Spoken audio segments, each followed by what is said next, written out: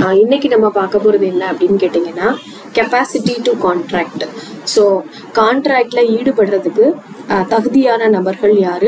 தகுதி இல்லாத நபர்கள் யார்? அதாவது குவாலிஃபைடு பர்சன்ஸ் அன்குவாலிஃபைடு பர்சன்ஸ் அவங்கெல்லாம் நம்ம பார்க்க போகிறோம் ஸோ கான்ட்ராக்டில் ஈடுபடுறதுக்கு தகுதியான நபர்கள் யார் அப்படின்னு செக்ஷன் லெவன் சொல்லுது. As per section eleven of Indian contract act every person is competent to contract who is of the age of majority so யாரெல்லாம் பதினெட்டு வயசுக்கு மேலே மெஜாரிட்டி அடைஞ்சவங்களா இருப்பாங்க இல்லையா? ஸோ அவங்க எல்லாருமே கான்ட்ராக்டுக்கு கேப்பபிள் பர்சன்ஸ் அப்படின்னு சட்டம் சொல்லுது. And who is of sound mind அதாவது சவுண்ட் மைண்ட் அப்படின்னா உங்களுக்கு தெரியும்.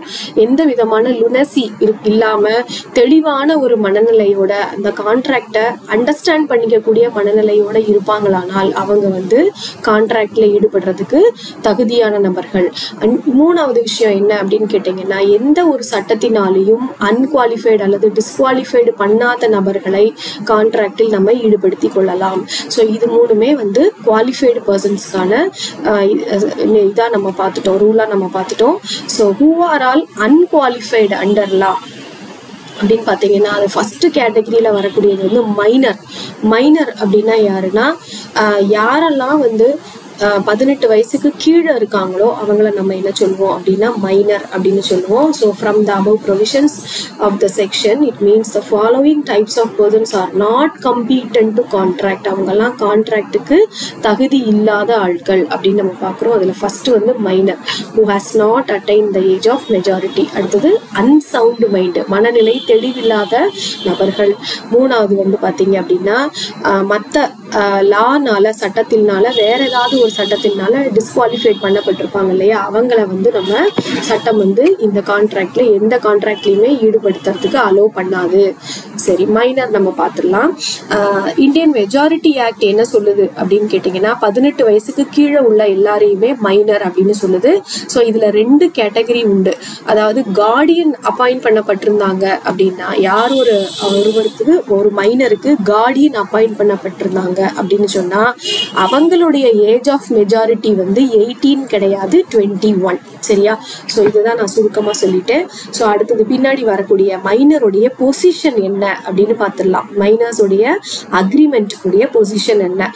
எந்த அக்ரிமெண்ட் நீங்க மைனரோட போட்டாலும் அது வாய்ட் ஆப் இனிஷியோ கீழே நம்பர் ஒன்ல ரெட்ல கொடுத்துருக்கேன் பாருங்க. வாய்ட் ஆப் இனிஷியோ அப்படிங்கிற அந்த லேட்டின் வார்த்தைக்கு அர்த்தம் என்ன அப்படின்னா ஆரம்பத்திலிருந்து கடைசி வரைக்கும் அவங்க கூட போடப்பட்ட அத்தனை கான்ட்ராக்டும் வந்து என்னது அப்படின்னா வாய்டு இதுல எந்த விதமான சந்தேகமும் நமக்கு கிடையாது அப்படின்னு திட்டவட்டமா சட்டம் சொல்லிடுது வாய்ட் ஆப் இனிஷியோ அப்படிங்கிறது அதான் first starting from the initial stage till the end எந்த விதமான இதுவுமே இதில் வந்து உங்களுக்கு ரிலாக்ஸேஷன் கிடையாது. அடுத்தது பாருங்க. The law of estoppels does not apply against a minor ஒரு மைனர் தன்னை மேஜராக பிரிட்டன் பண்ணி கொள்ள முடியாது. தன்னை மேஜராக காண்பித்து கொள்ள முடியாது. நம்ம பார்ட்னர்ஷிப்ல பார்ட்னர் பை எஸ்டோபல் அப்படின்னு ஒன்று உண்டு. அதாவது ஒரு பார்ட்னர் வந்து பார்ட்னராகவே இருக்க மாட்டாரு. ஆனால் வந்து என்ன பண்ணுவார் அப்படின்னு கேட்டீங்கன்னா நான் இந்த கம்பெனியை சாரி நான் இந்த ஃபேமுடைய பார்ட்னர் நான் இந்த ஃபேமுடைய பார்ட்னர்னு எல்லார்கிட்டையும் சொல்லி பணம் வாங்கி தன்னை வந்து இந்த ஃபேமுடைய பார்ட்னராக காண்பித்து கொள்வார். அந்த மாதிரி அதுதான் எஸ்டோபல் அப்படின்னு சொல்லுவோம் இல்லையா? அந்த மாதிரி அந்த எஸ்டோபல் அப்படிங்கிறத வந்து மைனர் வந்து தன்னுடைய மெஜாரிட்டியை காமிச்சுக்கிறது மெஜா மேஜர் மேஜர் அடைஞ்சிட்டோம் அப்படின்றது எல்லார்கிட்டையும் நம்ம பிரிட்டன் பண்ணிக்கிறது. அந்த மாதிரி இங்க என்ன பண்ண முடியாது? தன்னை பிரிட்டன் பண்ணி மிஸ்ரெப்ரசன்ட் பண்ணி கொள்ள முடியாது அப்படின்றது. அடுத்தது டாக்டரின் ஆஃப் ரெஸ்டிடியூஷன் அப்படிங்கிறது. அதாவது நமக்கு ஏற்பட்ட சேதத்துக்கான இழப்பீடு நம்ம பெறுவோம். நம்ம ஏதாவது ஒரு கான்ட்ராக்டில் ஈடுபட்டு நமக்கு வந்து அது நிறைவேறாம போயிருச்சு அப்படின்னா அதுக்கான இழப்பீடு நம்ம கோருவோம். அந்த இழப்பீடையும் எதுல கோர முடியாது அப்படின்னு பாத்தீங்கன்னா அந்த மைனர்ஸ் கூட நம்ம வச்சிருக்கக்கூடிய கான்ட்ராக்ட்ல நம்ம அந்த டாக்டரின் ஆஃப் ரெஸ்டியூஷன் அப்படி ரெஸ்டிடியூஷன் அப்படிங்கிற அந்த இழப்பீடையுமே நம்ம என்ன செய்ய முடியாது? கேட்க முடியாது. The doctrine of restitution does not apply அந்த பிரின்சிபலை இதுல வந்து என்ன செய்ய முடியாது? அப்ளை ஆகாது. நீங்க எந்த ரிலீஃபும் கேட்க முடியாது. அடுத்தது பாருங்க. No ratification on attaining majority so நீங்க வந்து மைனராக இருக்கும்போது ஒரு கான்ட்ராக்ட் போட்டிருப்போம் நம்ம. அதாவது பிலோ எயிட்டீன் இயர்ஸ்ல ஒரு கான்ட்ராக்ட் ஒருத்தர் போடுறாரு அப்படின்னா ஆஃப்டர் எயிட்டீன் இயர்ஸ் அது ஒரு மெஜாரிட்டி அடைஞ்ச பிறகு அந்த கான்ட்ராக்டுக்கு உயிர் கொடுக்க முடிவு இது முன் வருவார். அந்த மாதிரி பண்ண முடியாது அப்படின்னு சொல்லி சொல்றாங்க. An minor cannot confirm an agreement made by him during minority on attaining majority our major ஆன பிறகு அந்த அவர் போட்ட அந்த மை மைனராக இருக்கும்போது போட்ட அந்த அக்ரிமெண்ட்டுக்கு அந்த அக்ரிமெண்ட்டை கண்டினியூ பண்ண முடியும். அந்த அக்ரிமெண்ட்டுக்கு உயிர் கொடுக்க முடியும். அந்த அக்ரிமெண்ட்டை வந்து நம்ம மேற்கொண்டு அதை வந்து செலுத்த முடியும் கொண்டு செலுத்த முடியும். அப்படி அப்படின்னு அவர் நினைச்சாரானால் அது முடியாது. ஸோ எப்போ ஒரு ஒருவர் வந்து மைனராக இருக்கிறாரோ அவர் எந்த ஒரு அக்ரிமெண்ட் போடுறதுக்கும் எந்த ஒரு கான்ட்ராக்ட் போடுறதுக்கும் தகுதியான நபர் கிடையாது. அதையும் மீறி அவர் வந்து மைனராக இருக்கும்போது சரி நம்ம மைனாரிட்டிக்கு நம்ம இன்னும் இன்னும் மேஜர் ஆகிறதுக்கு இன்னும் ஒரு ரெண்டு மாசம் தான் இருக்குது. நம்ம இப்போ ஒரு கான்ட்ராக்டை சைன் பண்ணிட்டு அதுக்கு அவர் மேஜர் ஆன பிறகு நம்ம அது வந்து நான் தான் மேஜர் ஆயிட்டேனே இப்போ செல்லுபடி ஆகுமே அப்படி சொல்லிக்கலாம் அப்படின்னா அது முடியாது அப்படின்னு சட்டம் சொல்லுது. ஸோ நீங்கள் மைனராக இருக்கும் பொழுது போடக்கூடிய கான்ட்ராக்ட் எல்லாமே செல்லுபடி ஆகாது number one if the minor has attained the majority that contract is a, has to be cancelled இல்லையா அப்போ நீங்கள் ஒரு ஃப்ரெஷ் அக்ரிமெண்ட் தான் போடணும் if he has to continue that agreement if you want to continue that agreement அந்த fresh agreement மூலமாக தான் அதை செயல்படுத்த முடியுமே தவிர பழைய அக்ரிமெண்ட் வச்சு எதுவுமே நீங்கள் என்ன செய்ய முடியாது பண்ண முடியாது அப்படின்னு சட்டம் சொல்லுது if you wants to ratify the agreement fresh agreement மூலமாக தான் அதை செய்ய முடியுமே தவிர நீங்கள் மைனராக இருக்கும் பொழுது போட்ட அக்ரிமெண்ட் செல்லுபடி ஆகாது. Right contract beneficial to minor so அவருக்கு என்ன பெனிஃபிஷியலாக இருக்குதோ அந்த கான்ட்ராக்டில் அந்த பெனிஃபிட்ஸ்க்கு மட்டும்தான் மைனரை எடுத்துப்பாங்க. மைனரை எந்த விதத்துலையுமே வந்து சட்டம் வந்து என்ன செய்யாது? ப்ளேம் பண்ணவே பண்ணாது. சட்டம் வந்து மைனர் மைனர்ஸ்க்கு வந்து ஃபுல் ப்ரொடெக்ஷன் கொடுக்கணும் அப்படின்றதுக்காக அவங்க வந்து இந்த மாதிரியான ஒரு இதெல்லாம் வச்சுருக்குறாங்க. ஸோ மைனருக்கு வந்து எந்த எந்த சட்டமுமே வந்து என்ன பண்ணாது. மைனரை வந்து பிளேம் பண்ணாது. அடுத்தது minor as an agent a minor can be appointed as an agent minor வந்து ஏஜென்ட்டாக அப்பாயிண்ட் பண்ணப்படலாம். ஆனால் நீங்கள் அவரை எந்த விதத்துலையுமே அவரை லயபிள் ஆக்க முடியாது. அவரை எந்த விதத்துலையுமே அவருடைய ஆக்டிவிட்டீஸ்க்கு பிளேம் பண்ண முடியாது. அதுதான். அடுத்தது பாருங்கள் மைனஸ் லயபிலிட்டி ஃபார் நெசசிட்டிஸ் அதாவது if somebody has supplied a minor or his dependents with necessities minor's property is liable so யாராவது வந்து மைனருக்கு வந்து என்ன கொடுத்தாங்க அப்படின்னா somebody has supplied a minor or his dependents with necessities அதாவது அடிப்படை தேவைகள் நிறைவேறதுக்கான உதவியை செஞ்சாங்க கொடுத்தாங்க அப்படின்னா அதுக்கு மைனருடைய ப்ராப்பர்ட்டியை நம்ம லயபிள் பண்ணிக்கலாம். ஆனால் மைனரை லயபிள் பண்ண முடியாது அப்படிங்கிறத சட்டம் தெளிவாக சொல்லுது. அடுத்தது a minor cannot be adjudged as insolvent எப்போ அவர் வந்து கான்ட்ராக்டே சைன் பண்ண முடியாது அக்ரிமெண்ட்டே போட முடியாது அப்படின்ற மாதிரி வந்து சட்டம் சொல்லிடுச்சோ அவரை இன்சால்வெண்ட்டாகவும் ஆக்க முடியாது அப்படிங்கிறத தான் நம்ம புரிஞ்சுக்கணும். அப்புறம் பாருங்க ஒரு மைனரும் ஒரு அடல்ட்டும் சேர்ந்து ஒரு அக்ரிமெண்ட் போடுவார்களானால் அந்த அக்ரிமெண்ட்ல மைனர் வந்து லயபிள் ஆக மாட்டாரு. அதுங்களுக்கு பதிலாக யார் லயபிள் ஆவா அப்படின்னு கேட்டிங்கன்னா அந்த மெஜாரிட்டி அடைஞ்சிருக்கக்கூடிய அந்த பர்சன் தான் லயபிள் ஆவார் அப்படிங்கிறதையும் நம்ம பார்க்குறோம். ஸோ மைனர் அப்படிங்கிறவர் முற்றிலும் தகுதியற்றவர்கள். கான்ட்ராக்டுக்கு அப்படியே அக்ரிமெண்ட் போட்டாலும் அது செல்லாது நம்பர் டூ அப்படியே அவங்க அக்ரிமெண்ட் போட்டாலும் யார் அவங்க கூட சேர்ந்து அக்ரிமெண்ட் போட்டிருக்காங்களோ அவங்கள மட்டும்தான் நீங்கள் லயபிள் பண்ண பண்ண முடியுமே ஒழிய மைனரை எந்த விதத்திலும் அது கட்டுப்படுத்தாது அப்படிங்கிறத த சட்டம் வந்து தெளிவாக சொல்லிருச்சு. ஸோ இது வந்து ஒரு கேஸ்லா பாருங்க. மொஹ்ரி பிபி வர்சஸ் தாமோதர் தாஸ் கோஷ் அப்படின்ற ஒரு கேஸ்லா ஸோ இந்த கேஸ்லால தான் நமக்கு வந்து வாய்ட் ஆப் இனிஷியோ அப்படிங்கிறத வந்து தெளிவாக டிக்ளேர் பண்ணிச்சு கோர்ட்டு சரியா? ஸோ இது வந்து என்ன அப்படின்னு கேட்டிங்கன்னா தாமோதர் தாஸ் கோஷ் அப்படிங்கிறவர் வந்து ஒரு மைனர் ஒரு சுருக்கமாக சொல்லிடுறேன் இந்த கேஸ்லாவை இது வந்து ஒரு பெரிய இன்சிடென்ட்டு பெரிய அளவில் சொல்லிட்டே போனால் அதுக்கே ஒரு அஞ்சு ஸ்லைடு வேணும். சரியா? அதனால் இதை சுருக்கமாக நான் சொல்லிடுறேன். தாமோதர் தாஸ் கோஷ் அப்படின்றவர் வந்து ஒரு மைனர் அவர் வந்து தன்னுடைய ப்ராப்பர்ட்டியை வந்து என்ன பண்ணுறார் அவருக்கு பேரில் நிறைய சொத்து இருக்குது. அவங்க அம்மா இருக்கிறாங்க.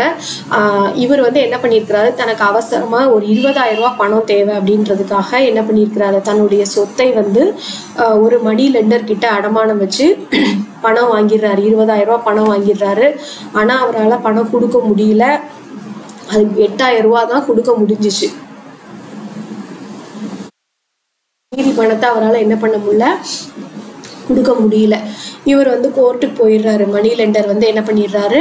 கோர்ட்டுக்கு போயிடுறாரு. கோர்ட்டில் என்ன முடிவாயிருது அப்படின்னு கேட்டிங்கன்னா இவர் கூட போட்ட எத்தனை கான்ட்ராக்ட்டுமே வந்து என்னது அப்படின்னா செல்லாது அப்படிங்கிற மாதிரி கோர்ட் வந்து சொல்லிடுது. So the agreement is void ab initio அப்படிங்கிறத நம்ம பார்க்குறோம். So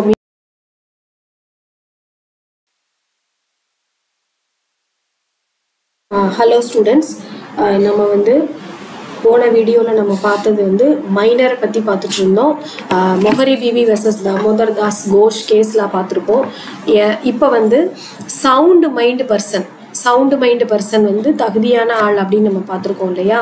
So sound mind person for the purposes of contracting section twelve என்ன சொல்லுது அப்படின்னா a person is said to be of sound mind for the purpose of making a contract at the time when he makes it he is capable of understanding it and of formal sorry forming a rational judgment as to its effect upon his interest so எப்போ அவருடைய தெளிவான மனநிலையில் இருக்கிறாரோ எப்போ வந்து அவருடைய understanding வந்து தெளிவாக இருக்குதோ அவர் வந்து அந்த போடக்கூடிய அக்ரிமெண்ட்டை புரிஞ்சு கொள்ளக்கூடிய அளவுக்கு அவர் தெளிவான மனநிலை இருந்தால் அவர் தான் சவுண்டு பர்சன் அப்படின்னு சொல்கிறோம் சவுண்டு மைண்டு பர்சன் அப்படின்னு சொல்கிறோம் சரி இப்போ அன்சவுண்டு மைண்டு பர்சனை வந்து சட்டம் வந்து ஏற்றுக்குமா அப்படின்னா ஏற்றுக்காது ஆனால் பாருங்கள் a person who is of unsound mind unsound மைண்டில் இல்லாத நபர்கள் ஆனால் அக்கேஷ்னலி அவங்க சவுண்டு மைண்டில் இருப்பாங்க இல்லையா? அந்த டைமில் போடக்கூடிய கான்ட்ராக்டை அவங்க பண்ணிக்கலாம் அப்படின்னு சொல்லுது. But occasionally of sound mind may make a contract with when he is of sound mind அவர் எப்போ சவுண்டு மைண்டில் இருக்கிறாரோ அந்த டைமில் அவங்க கான்ட்ராக்ட் போட்டுக்கலாம். அதை மாதிரி யார் சவுண்டு மைண்டில் இருந்து சில சமயம் அன்சவுண்டு மைண்டாக இருப்பாங்க இல்லையா? அந்த மாதிரி இருக்கிறவங்க கான்ட்ராக்ட் போடக்கூடாது அப்படிங்கிற மாதிரி சொல்கிறாங்க may may not make a contract when he is of unsound mind மொத்தத்தில் அன்சவுண்டு மைண்டில் இருக்கக்கூடிய டைமில் அவங்க கான்ட்ராக்டை என்ன செய்யக்கூடாது? சைன் பண்ணக்கூடவோ போடவோ கூடாது.